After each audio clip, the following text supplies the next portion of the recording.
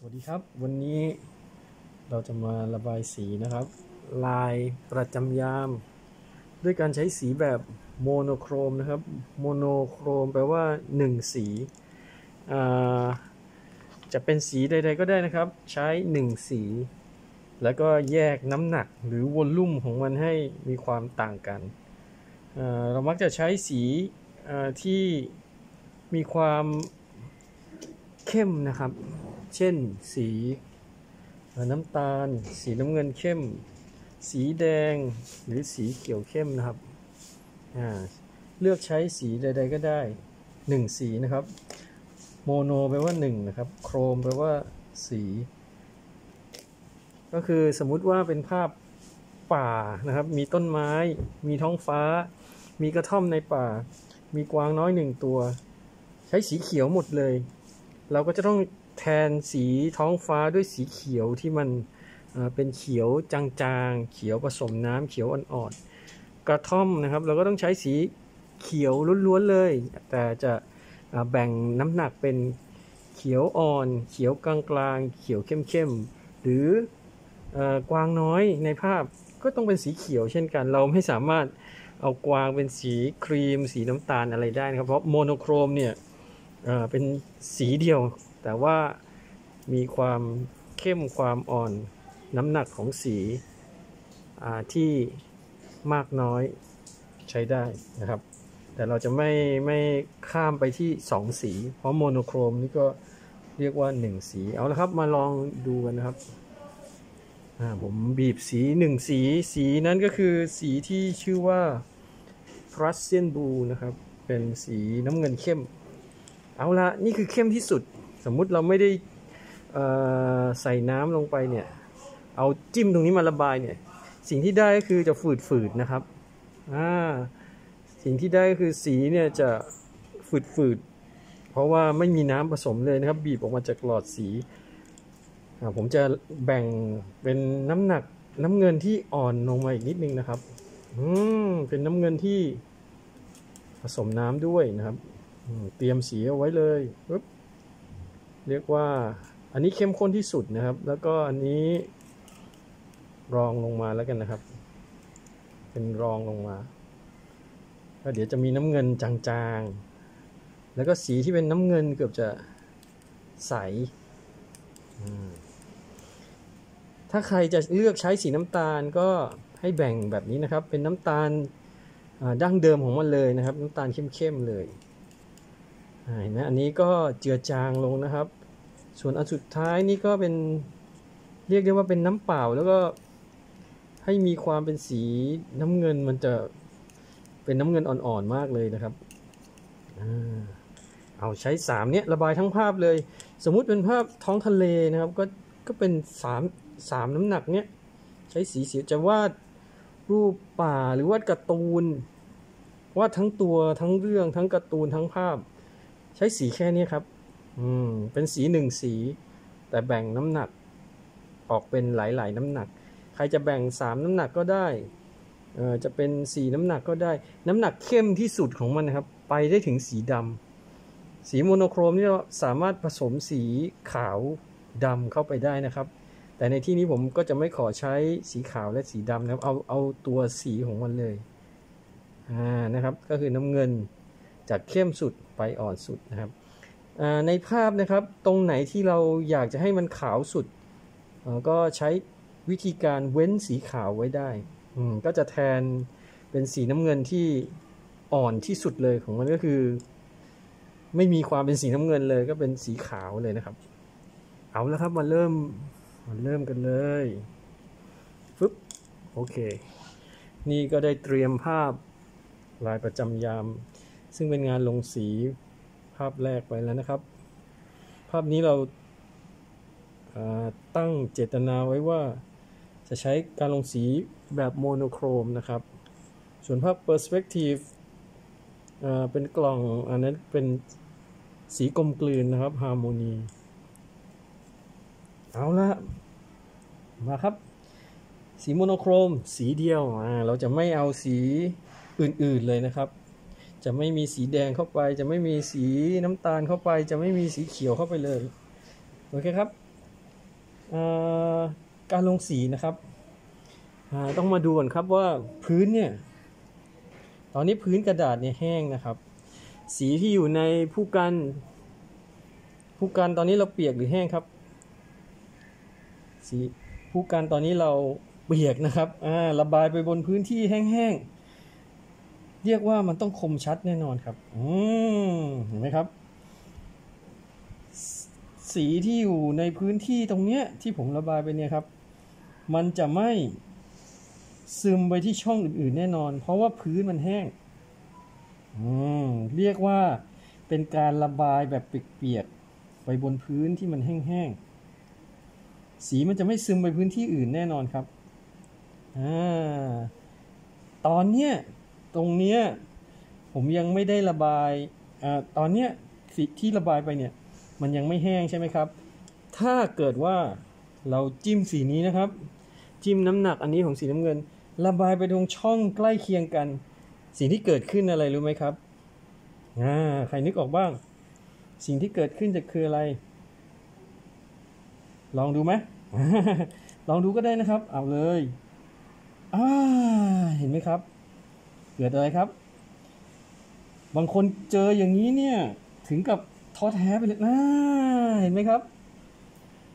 สีตรงกลางที่มันเข้มกว่าเนี่ยซึมเข้าไปตรงนี้ โดยที่เราอาจจะไม่ตั้งใจหรืออาจจะบังคับมือไม่อยู่นะอือหือบางคนถึงกับท้อแท้จนแบบเอาไม่นาน แต่จริง ๆ มันเป็นปรากฏการณ์ธรรมชาติ น้ำที่มันพื้นที่เปียกก็ต้อง ซึมซึมเข้าไปในอีกพื้นที่หนึ่งที่มันเปียกอยู่นะครับ อันนี้เรียกว่าระบายเปียกเข้าไปชิดตรงเปียก เกิดอะไรขึ้นครับ จริง ๆ อย่างนี้ทำยากนะครับ การสีซึมเข้าหากันแบบเนี้ยทำยากนะครับอ่าไม่ต้องตกใจนะครับ ค่อยๆ แก้ปัญหาอ่ามีคนบอกว่าศิลปะนี่คือการแก้ปัญหาในชิ้นงาน ก็ค่อยๆ แก้ไป ทีนี้แก้ยังไงล่ะอ่า อันนี้ผมตั้งใจทำผิดให้ดูนะครับอ้าวทำเหมือนเดิมครับทำซีกนี้นะครับ อืม ตรงนี้ระบายได้อิสระ เพราะมันยังไม่มีสีเปียกๆมาชนนี่ครับ เห็นไหมอ่า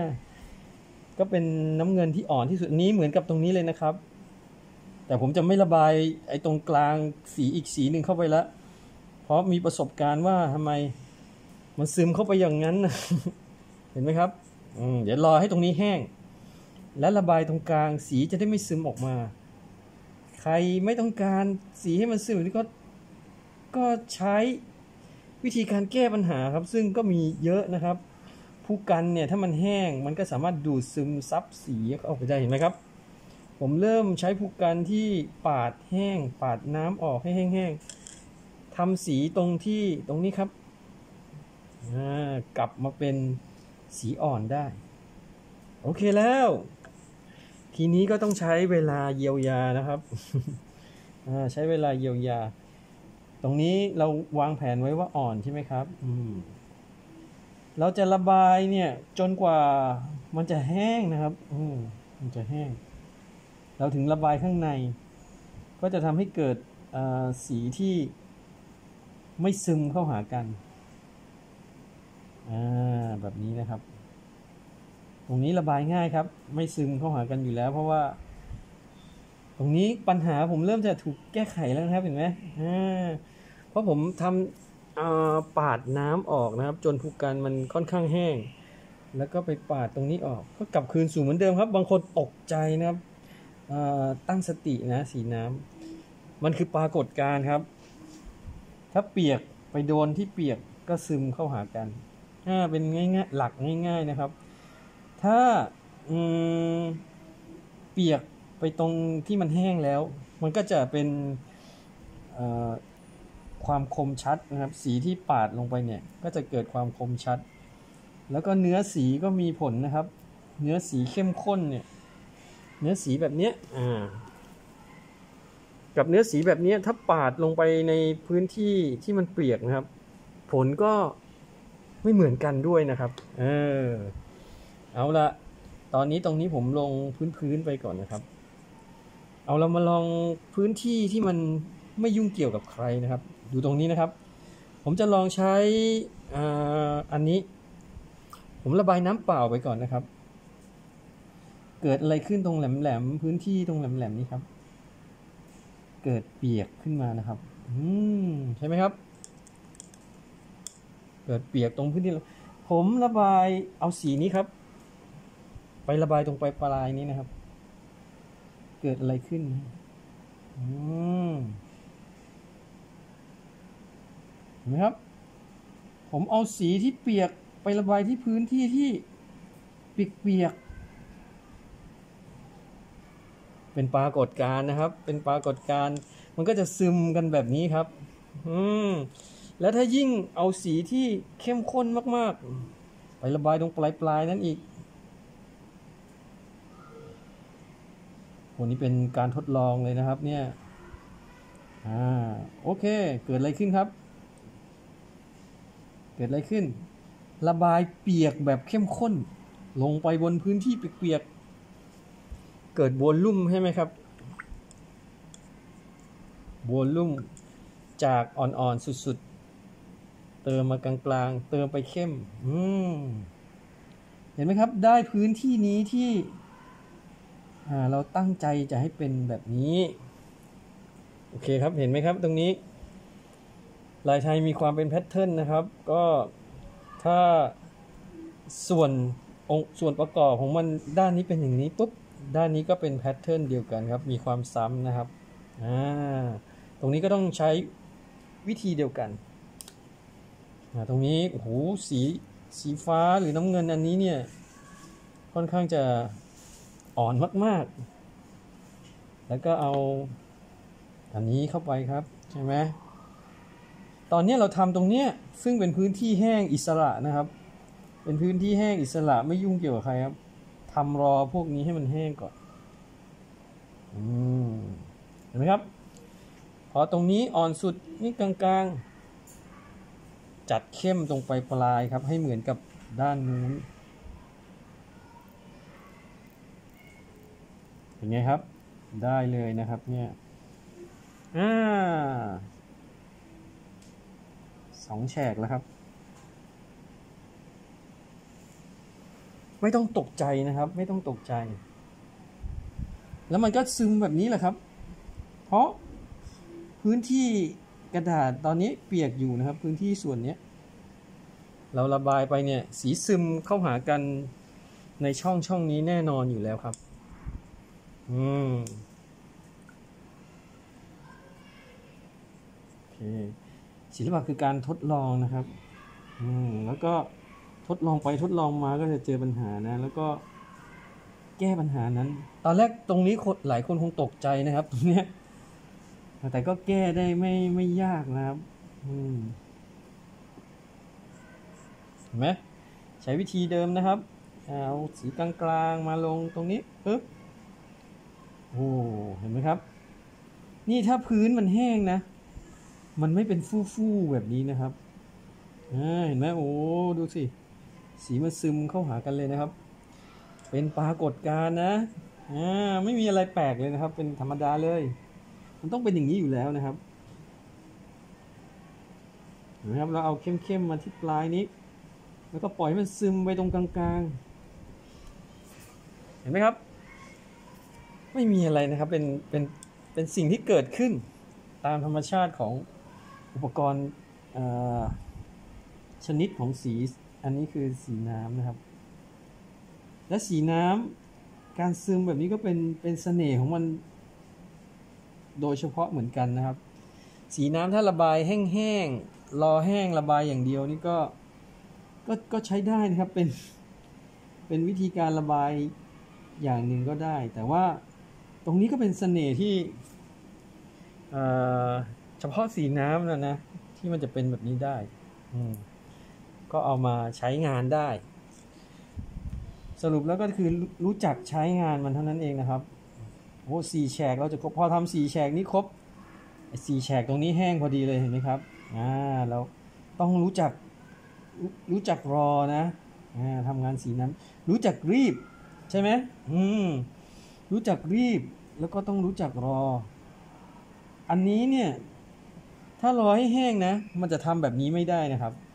อ่าถ้าอันเนี้ยถ้ารอให้แห้งสนิท มันจะไม่ซึมแบบนี้ ดังนั้นต้องรีบทำอ่าเนี้ยเราต้องรู้จักรีบแล้วตรงนี้นะครับอันนี้ต้องรู้จักรีบหน่อย เดี๋ยวมันแห้งแล้วมันจะไม่ซึมพอได้นี้ก็เรียบร้อย เห็นไหมอืมแล้วอันนี้ก็จิ้มตรงเข้มๆ มาตรงปลายปลายๆนี้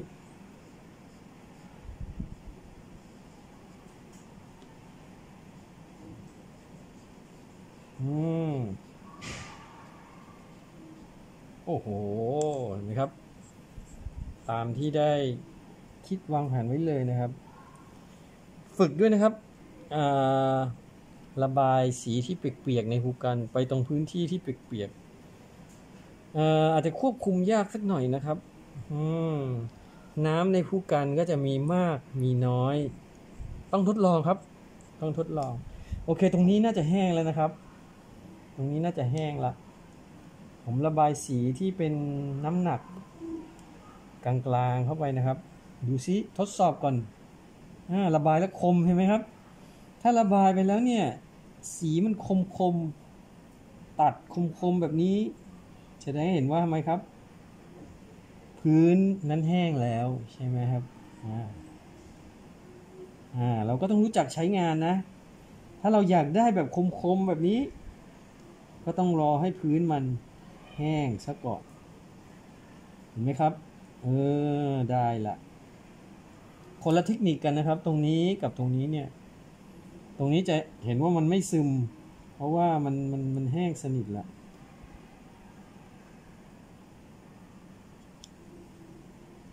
อืมก็ลายไทยมีความเป็นแพทเทิร์นซีกนี้เป็นแบบนี้ ซีกอื่นๆก็ล้อกันไปนะครับอืมเป็นเป็น เป็นขนบ เราเราจะไม่มั่วนะครับ แฉกนี้เป็นแบบนี้ อีกแฉกหนึ่งไปเป็นอย่างอื่นนะอันนั้นอันนั้นผิดขนบไปนิดนึงอ่ามันก็ต้องมีแบบแผนของมันอยู่เห็นไหมครับ ตรงนี้เป็นแบบนี้ ด้านอื่นๆสบายเลยครับ เพราะว่าแห้งแล้วโอ้โหถึงระบายชุ่มฉ่ำเปียกๆนะครับ สีเข้มเนี้ยระบายแบบชุ่มๆช่ำๆก็ไม่ซึมครับอ่าตรงนี้เกิดอะไรขึ้นครับ ยังไม่แห้งเห็นไหมครับ อ่าเรารู้ได้เลยอ่ายังไม่แห้งสนิทดีเราก็ต้องรีบเอามือปาดหรือเอาทิชชู่ปาดก็ได้นะครับอ่าเจอแล้วเห็นไหมครับอาจจะเจอปัญหาตลอดนะ ไม่ไม่มีอะไรแน่นอนนะครับนะครับปึ๊บทำทำไปมันมันก็จะไม่ราบรื่นหรอกครับ มันจะพบเจอปัญหาไปตลอด เห็นไหมครับ ตรงนี้กับตรงนี้ก็ล้อกันละ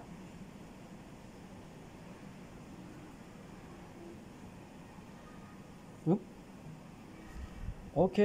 ไปต่อครับ ก็ใจเย็นๆไม่ต้องรีบนะครับ ไม่ต้องรีบนะ มีเวลาทำงานยาวๆไปนะครับ ถึง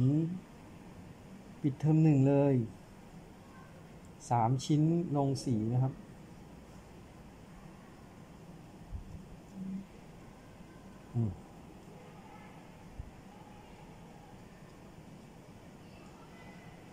โอเค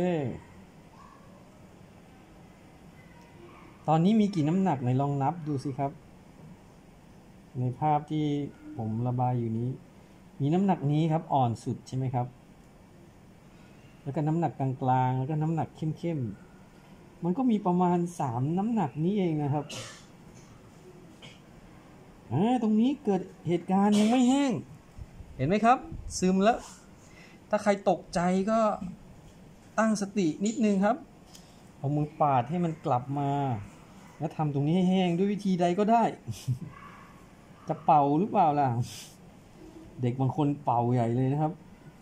ไม่ทันการครับ หาทิชชู่ไม่เจอด้วยบางคน ของผมเอามือปาดเลยครับ เห็นไหมครับ พอปาดปุ๊บ มันก็แห้งตรงนั้น แล้วก็สีไม่ซึมเข้าไปละเรียกได้ว่าพกทิชชู่ พกฟองน้ำอะไรไว้หน่อยนะครับทำสีน้ำเนี่ยเผื่อจะมาลบมาปาด ยามฉุกเฉินซึ่งซึ่งเกิดขึ้นแน่นอนนะครับอ่าซึ่งเกิดปัญหาแน่นอนมีทิชชู่พกไว้เนี่ยช่วยได้เยอะนะครับเพราะสีน้ำมันมีความเปียก ถ้าตรงไหนที่เราไม่อยากให้มันเปียกแล้วมันดันเปียก ก็ใช้ทิชชู่นะครับ ช่วยช่วยแก้ไขได้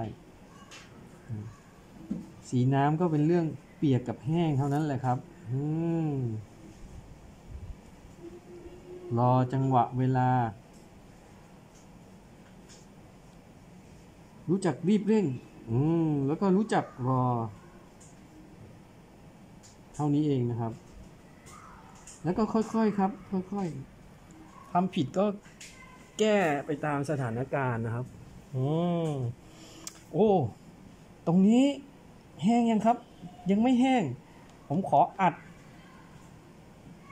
ออริจินัลสีน้ำเงินเข้าไปตรงนี้ครับอุ้ยเห็นไหมครับ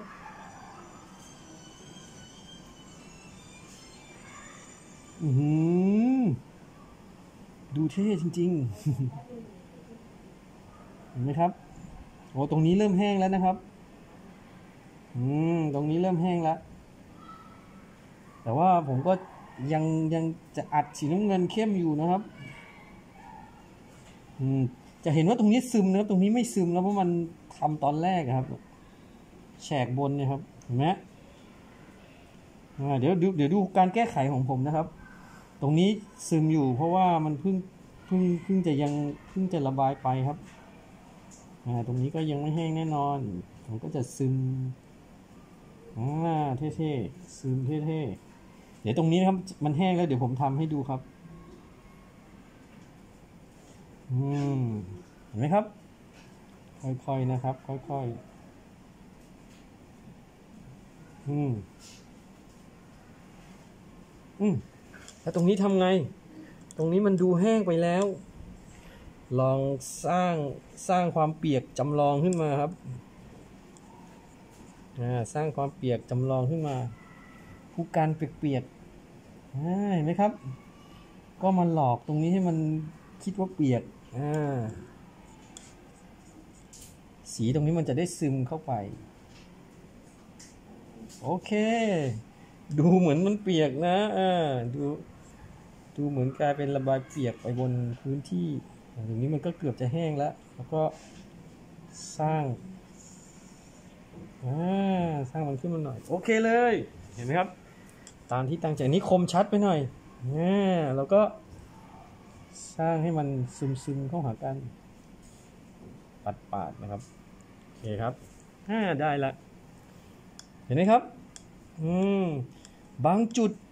ปล่อยเป็นสีขาวไว้ก็ก็ก็เท่ดี เห็นไหมครับ อืม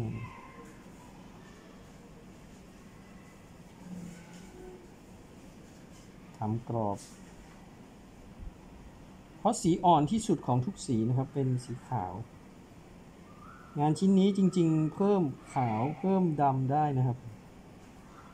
อืม แล้วก็ยึดสีหลักหนึ่งสี monochrome นะครับอ่าในหนังสือเขาจะเรียกว่าหนังสือศิลปะป .5 เนี่ยเขาเรียกว่าสีเอกรงค์นะครับ อืม มันเป็นวิธีหนึ่งในวิธีการคุมสี ใครจะใช้สี monochrome แล้วก็เติมสีอื่นอีกเล็กน้อย ก็สวยไปอีกแบบนะครับ แต่นี่คือ monochrome ร้อยเปอร์เซ็นต์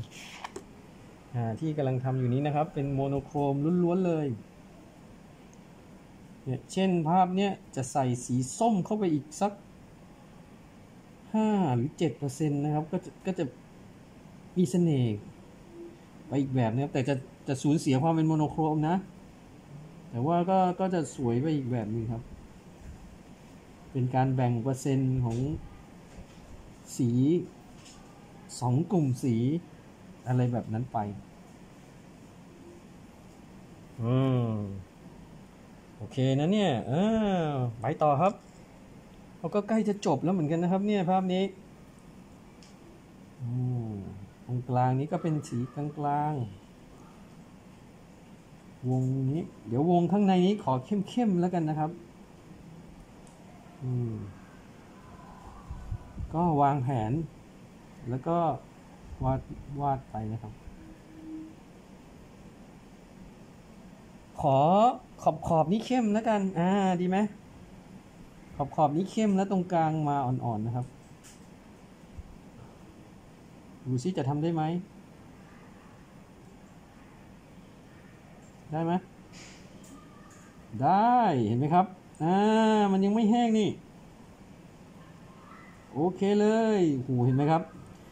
ตามที่ได้ตั้งใจไว้เลย คือตรงนี้เข้มๆปุ๊บพอเข้าไปข้างในมันก็จะอ่อนแบบนี้ใช่ไหมครับ ตามที่ได้ตั้งใจไว้เลยแบบนี้โอเค ข้างในนี้ ผมกะจะระบายเข้มๆนะครับ แต่ว่าตอนนี้หยุดก่อน เพราะถ้าระบายไปสีเข้มมันอาจจะไปซึมเข้าไปที่ตรงนี้ที่มันอาจจะยังไม่แห้งดีนัก ตอนนี้ก็ฝึกตัดเส้นกันก็ได้นะครับ อืมตัดเส้นด้วยสี เข้มข้นเลยอันไหนก่อนดี ก็ลองดูนะครับตรงนี้ก็น่าจะแห้งกันหมดแล้ว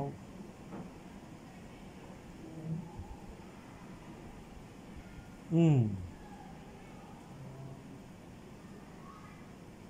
วิธีตัดเส้นเหรอครับก็ ไม่มีอะไรมากนะ วิธีตัดเส้น ถ้าเรากดผูกกันไปแรงๆนะครับ เส้นก็หนานะครับ ก็ต้องตั้งสมาธิหน่อยถ้าอยากให้เส้นบางๆ แตะ แตะตรงปลายปลายผูกกันก็พอ อืม ถ้าอยากให้เส้นบางๆนะครับ ใช้ปลายปลายแล้วก็องศา ตั้งมาหน่อยก็จะดีนะครับ ตั้งๆก็จะทำให้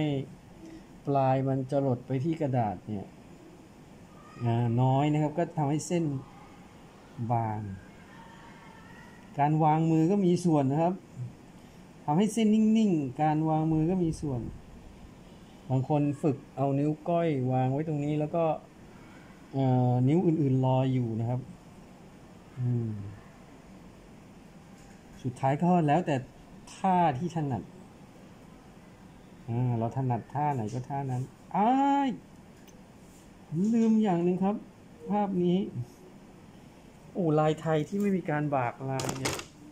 อุ้ยโทษทีครับอ๋อลืมไปได้ไงครับ ลืมตอนร่างร่างภาพ อ้าวแก้ไขครับ โอเคอยู่หูเสียหายเลยนะครับ ลายไทยที่ ไม่มีการบากลายอืมสเสน่ห์หายไปเยอะเลย แต่ก็ยังทันทันเวลาครับ อืมนะครับ ฝาน ฟัน เฉือน บากลักษณะไหนตรงอื่นก็เหมือนกันนะเป็นสูตรอ่าเห็นไหมโอ้ยังทันยังทันการนะครับตอนแรกนึกว่าลืมไปแล้วอืมอืมรู้จักรอนะครับ รู้จัก เร่ง อืมขออนุญาตทำอาจจะไม่เสร็จนะครับ แต่ว่า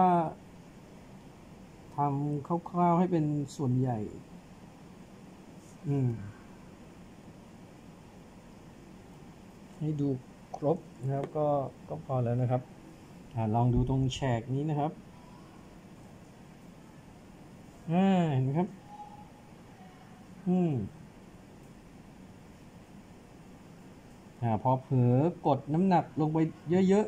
ๆ เส้นหนาเลยทีเดียว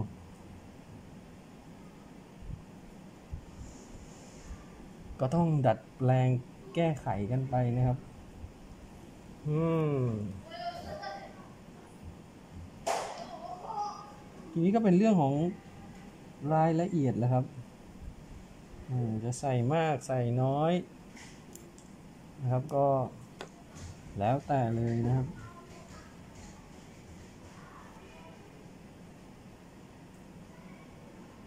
อืม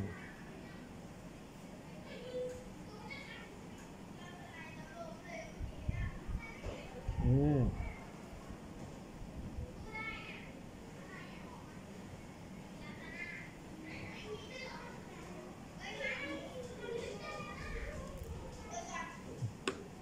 โอเคไหมครับเนี่ย ห็นไหมนะอืม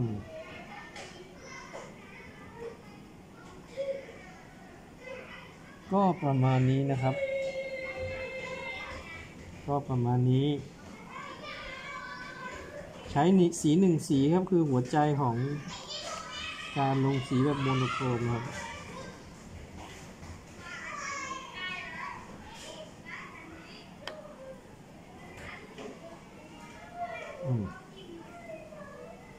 ผู้กันใหม่ผู้กันเก่าก็มีผลนะครับ ผู้กันนี้ค่อนข้างจะก็ยังถือว่าถือว่าดีอยู่นะครับผู้กันใหม่ๆก็จะแข็งแข็งๆหน่อยอืม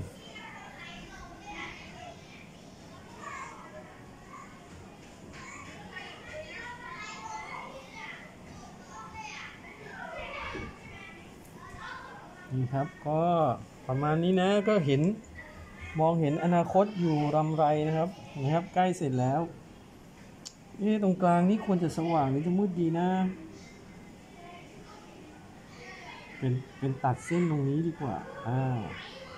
แล้วตรงกลางก็สว่างอยู่นะครับ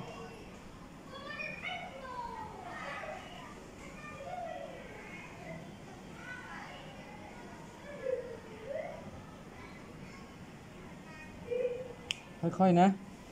เเจอปัญหาก็แก้มันแค่นั้นเองครับ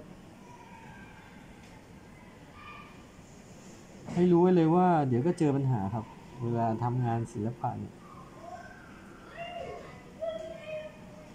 เดี๋ยวต้องมีอะไรให้แก้ไขแน่ๆแหละ อ่า โอเค นี่ครับ โอ้ เท่ทีเดียวนะ ตรงนี้เข้มๆ อัดเข้าไปเลย บางทีเราก็เพิ่งนึกออกว่าตรงนี้มันน่าจะเติมตรงนี้อะไรแบบนี้นะครับ ก็ก็ทำได้นะครับ อืมก็แต่งเติมได้ตามอิสระ แต่อย่าลืมความเป็นแพทเทิร์นครับ ใช่ไหมตรงนี้พอเราคิดนึกเติมขึ้นมาได้ ตรงนี้ก็ต้องมาด้วย ตรงนี้ก็ต้องมาด้วยโอเคนะ ก็เริ่มมองเห็นนะครับ อ๋อพอมองมุมนี้จากกล้องก็จะสะท้อนแสงหน่อยนะครับ สะท้อนแสง อืมพอมองมองอย่างนี้ครับ โอเคนะ นี่ก็คือสีโมโนโครมนะครับ สีเดียวระบายทั้งภาพ ก็เป็นลักษณะนี้แหละนะครับ โอเค